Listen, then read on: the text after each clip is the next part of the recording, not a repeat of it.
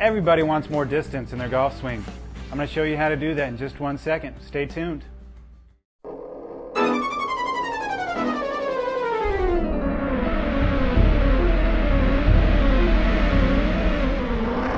Golf-Tec gets you past frustrating plateaus in skill and score. Full swing instruction means solid ball striking becomes the rule, not the exception. Put a proven success method and a coach that believes in you on your side. Golf-Tec. Now there's no reason to go it alone. Hello, my name is Ty Moreland, the Director of Instruction here at Golf-Tec Southside. Today we're talking about creating a little torque in our swing to add a little bit of power to all your shots.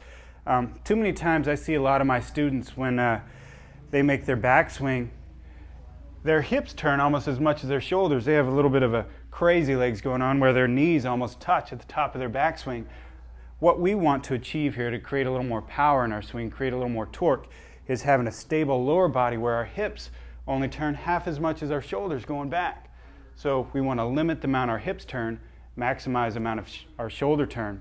So what I'm going to do to help us achieve this is I grab my impact bag. You can use an impact bag, you can use a, a range basket um, or cardboard box or anything. What I'm going to do is position it inside my feet, right like this. So this really forces me to make a full shoulder turn without getting too much leg action. Let's go ahead and make a swing. Let's take a look at that one on the computer.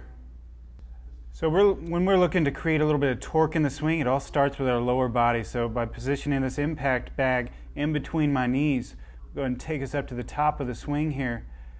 Notice how much I've actually turned my shoulders, turned it well behind the golf ball over a very stable lower body. Notice my knees are very wide apart. So here I've turned my shoulders 94 degrees, and I've only turned my hips 45 degrees. So a lot of torque here in the swing. Um, this is going to produce a lot of club head speed, which equals a lot of power. So practice this little move right here. If you want to hit the ball further, come see us at Golf-Tec on Southside Boulevard. This is your Golf-Tec tip of the week.